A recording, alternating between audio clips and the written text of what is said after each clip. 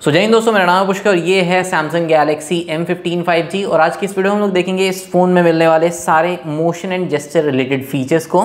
Start करते हैं। सबसे पहले आपको जाना है इस फ़ोन के सेटिंग में।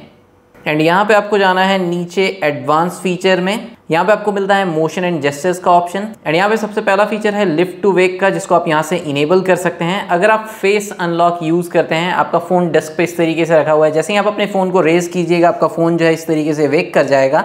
एंड आपके फेस के थ्रू जो है ना, आप इसको अनलॉक कर सकते हैं. तो अगर आप फेस अनलॉक यूज़ करते हैं तो ये रेस टू वेक का जो फीचर है, ये आपके लिए यूजफुल हो सकता है. नेक्स्ट यहीं पे आपको double tap to turn on and double tap to turn off screen का ऑप्शन मिलता है. तो अगर आप होम स्क्रीन पे डबल टैप करते हैं तो इस तरीके से स्क्रीन को ऑफ़ कर सकते हैं. डबल टैप करके ही स्क्रीन को वेक कर सकते हैं, फिर फिंगरप्रिंट या फेस के थ्रू अपने फ़ोन को अनलॉक कर सकते हैं। अब नेक्स्ट यहाँ पे alert when phone picked up का ऑप्शन मिलता है और अगर ये ऑप्शन इनेबल रहता है और आपका फ़ोन स्क्रीन ऑफ़ कंडीशन में या लॉक करके इस तरीके से डेस्क पे रखा हुआ है एंड आपके एब्सेंस में कोई भी फ़ोन पे कॉल आता है या वो मिस कॉल हो जाता है या कोई भी मैसेज आता है तो जब भी आप वापस आके अपने फ़ोन को पिकअप करते हैं ना तो आपका फ़ोन एक बार वाइब्रेट करेगा, जिससे आपको पता चल जाएगा कि आपके एब्सेंस में कोई मिस कॉल या कोई मैसेज नोटिफिकेशन आपके फ़ोन में है, जो आपको एक बार चेक करना चाहिए।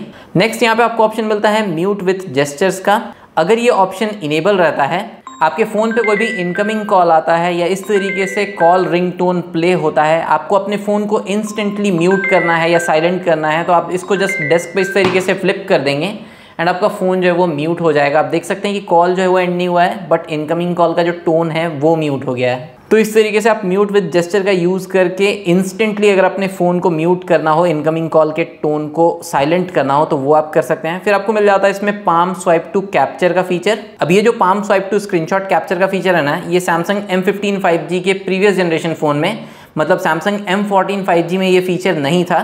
जबकि यहाँ पे ये फीचर देखने के लिए मिलता है। तो अगर ये फीचर इनेबल रहता है तो आप अपने हाथ में पाम एरिया का यूज़ करके इस तरीके से स्वाइप करके जो है ना इंस्टेंटली स्क्रीनशॉट कैप्चर कर सकते हैं अपने सैमसंग एम फिफ्टीन में।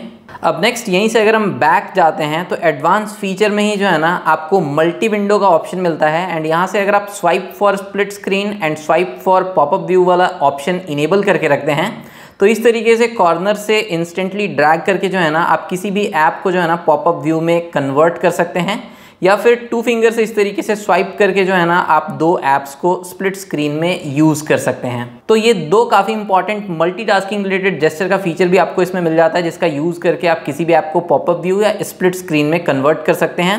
नेक्स्ट एडवांस फीचर में आपको 100 मोड का भी ऑप्शन मिलता है, इसको आप यहाँ से इनेबल कर सकते हैं इसको आप जेस्टर के थ्रू भी यूज़ कर सकते हैं। उसके लिए आपको बॉटम एज के सेंटर में इस तरीके से स्वाइप डाउन करना है एंड आप अपने फ़ोन को जो है ना वन मोड में यूज़ कर पाएँगे। नेक्स्ट सैमसंग एम फिफ्टीन में आप नेविगेशन जेस्टर भी यूज़ कर सकते हैं। उसके लिए आपको सेटिंग में डिस्प्ले सेटिंग में आना है। डिस्प्ले सेटिंग में आपको जाना है नेविगेशन नेविगेशन बार में एंड यहाँ पे आपको स्वाइप जेस्टर का ऑप्शन मिल जाता है, जिससे आप बटन नेविगेशन सिस्टम की जगह जो है ना स्वाइप जेस्टर यूज़ कर सकते हैं या नेविगेशन जेस्टर यूज़ कर सकते हैं। जिसमें आप स्वाइप अप करके इस तरीके से होम स्क्रीन पे आ सकते हैं। स्वाइप अप एंड होल्ड करके आप रीसेंट एप्स एक्सेस कर सकते हैं। लेफ़्ट से या राइट से इस तरीके से स्वाइप करके जो है ना, आप बैक बटन यूज़ कर सकते हैं एंड कॉर्नर से डायगनली इस तरीके से स्वाइप करके आप गूगल असिस्टेंट को पॉप कर सकते हैं। अब इस फ़ोन में जो लास्ट जेस्टर रिलेटेड फीचर है, उसके लिए आ जाते हैं हम लोग यहाँ पे डायलर में। डायलर में अगर हम रिसेंट टैब में जाते हैं तो किसी भी रिसेंट कॉल्स पे अगर हम यहाँ पे जो है इस तरीके से स्वाइप लेफ़्ट करते हैं तो डायरेक्टली हम उस नंबर को मैसेज कर सकते हैं।